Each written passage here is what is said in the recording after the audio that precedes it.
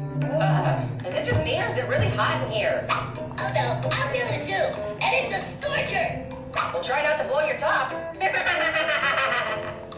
What? I'm just saying, a second ago it's dark and cool. How is this my fault? hey, it sounds like you guys need to chill out.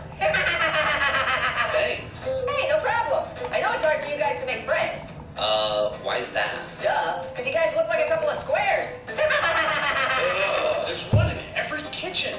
Hey, hey, juice boxes. When are you gonna start dancing? What are you what are you talking about? It says it right there. You guys can shake well. Hey, perv, stop looking at my label. That's none of your business. Hey, I'm surprised he can read. I don't get it. With all that sugar, you should be more of a sweet talker.